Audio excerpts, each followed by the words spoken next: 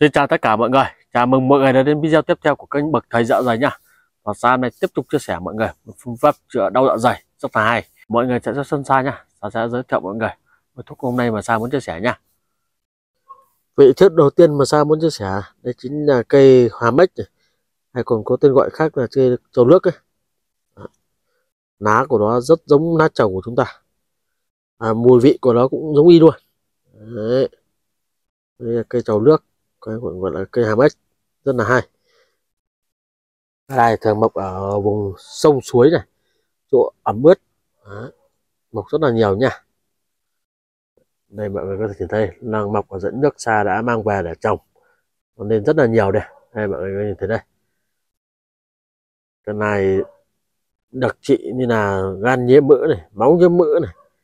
Hay là đau dạ dày, đại tràng rất là hay. này này, nó tính tiêu viêm rất là mạnh nha. Bộ phận sử dụng làm thuốc ở cái này, chính là cả thân, cả lá. Và dễ cũng dùng được. Mọi người chỉ cần lấy cái này về, chúng ta sẽ rửa sạch, băm nhỏ phơi khô. Và kết hợp các vị thuốc khác. Đấy. mọi người có nhìn rõ cái này không? Đây chính là mặt trên của lá nha. Đấy. mặt dưới của lá đây. Đây chính là cây thuốc thứ nhất mà sao muốn chia sẻ. Và đây chính là cây thuốc thứ hai mà sao muốn chia sẻ này.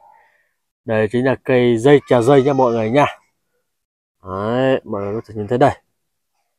Và sau sẽ miêu tả qua vào cái dây trà dây này nha.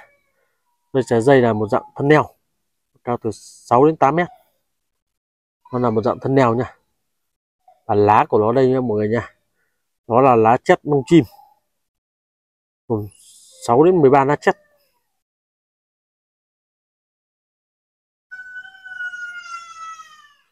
Và đặc điểm nhận dạng của cái trà dây này, lá nó đứng gần, sẽ tỏa ra mùi rất là thơm.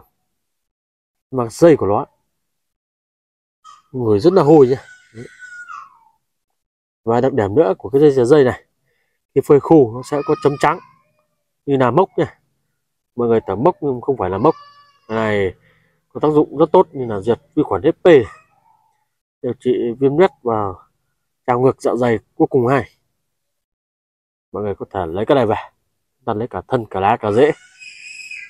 Chúng ta sẽ băm nhỏ phơi khô. Và tiếp theo, đây chính là cây thuốc thứ ba sao sao muốn chia sẻ nhá. Đây chính là cây hoa ngọc. Hay còn gọi là cây tu linh. Cây con khỉ. Đấy cây hoa ngọc này là một dạng cây thân bụi cao từ 1,5 đến 2 mét. Đấy, và lá nó mọc núi này mọi người có thể nhìn thấy đây.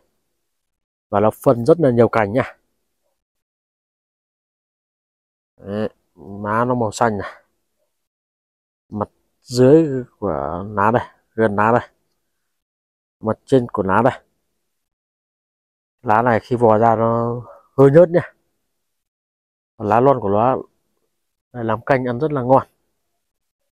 Mọi người hái về để, để nấu canh. Cái này có rất nhiều công dụng này.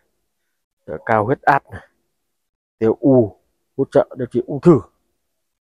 Và bên cạnh đó nó chữa đau dạ dày cũng rất là hay. Đấy. đau dạ dày đại tràng này. Hay là bị đứt chân đứt tay.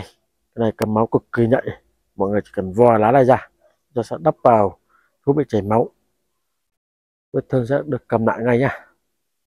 Đấy, đây chính là công dụng của cây hoàn ngọc này. Qua để mọi người biết cách sử dụng. Mọi người sẽ lấy phần lá của nó về ta sẽ phơi khô. Trong quá trình phơi khô mọi người sẽ phải ủ để nó sẽ ra màu đen. Nếu mọi người không ủ là nó sẽ ra màu y nguyên này. Không được đen lắm nha mà sẽ màu xanh nha sẽ không tốt bằng mình sẽ ủ đâu nha. Mọi người chỉ cần lấy ba nguyên liệu trên, chúng ta sẽ mang về, chúng ta sẽ sắc nước uống hàng ngày hoặc chúng ta có thể đem nấu cao, cho thêm các vị thuốc khác và cho nó sẽ hiệu quả hơn nha.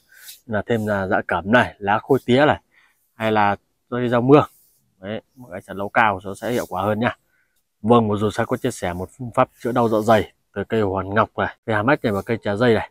Mọi người xem video hay, hãy nhớ chia sẻ thật rộng rãi cho bạn bè và người thân của mọi người. Ai mà đang bị đau dò dày, áp dụng ngay nhá. Và sau đây Sa xin kết thúc video tại đây. Mọi người nhớ đăng ký kênh chuông thông báo để ủng hộ và đồng hành cùng Sa nha xin chào và hẹn gặp lại mọi người ở video tiếp theo. Xin chào tất cả mọi người. Xin chào.